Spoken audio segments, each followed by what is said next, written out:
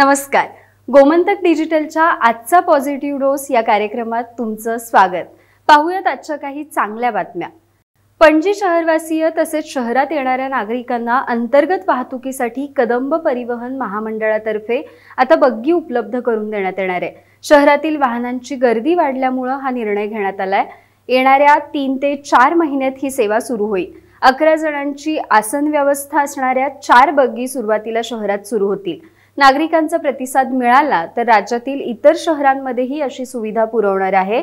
एकतर बग्गीचा आकार लहान असल्यानं शहरातील अरुंद रस्त्यावरती फिरवणं सोपं जाणार आहे.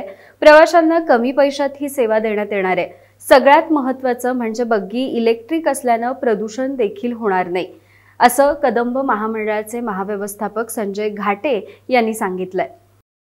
ऑक्टोबरमध्ये होणाऱ्या राष्ट्रीय क्रीडा स्पर्धेची मशाल काल दोनापावल येथे प्रज्वलित करण्यात आली राज्यातील क्रीडा संघटनांनी या स्पर्धेवर टाकलेला बहिष्कार हटवला असून सर्व संघटनांचे पदाधिकारी सुद्धा या कार्यक्रमाला उपस्थित होते.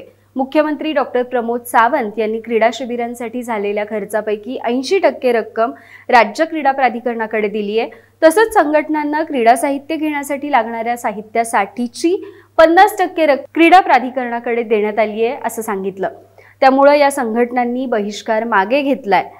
गोवा सरकारने व्हिजन फॉर ऑल योजनेअंतर्गत शालेय विद्यार्थ्यांसाठी नेत्र तपासणी चष्मा वितरण आणि डोळ्यांच्या इतर समस्यांसाठी उडपी कर्नाटक इथल्या प्रसाद नेत्रालय सुपर स्पेशालिटीसोबत करार केलाय. राज्यातल्या सरकारी आणि निमसरकारी शाळातील जवळपास दोन लाख विद्यार्थ्यांची या अंतर्गत तपासणी केली जाणार आहे. तर याबरोबरच तुम्हाला काही पॉझिटिव्ह बातम्या माहीत असतील तर आम्हाला नक्की सांगा.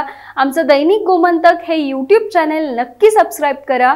आणि सगळ्यात महत्त्वाचं पॉझिटिव्ह व्हा पॉझिटिव्ह राहा.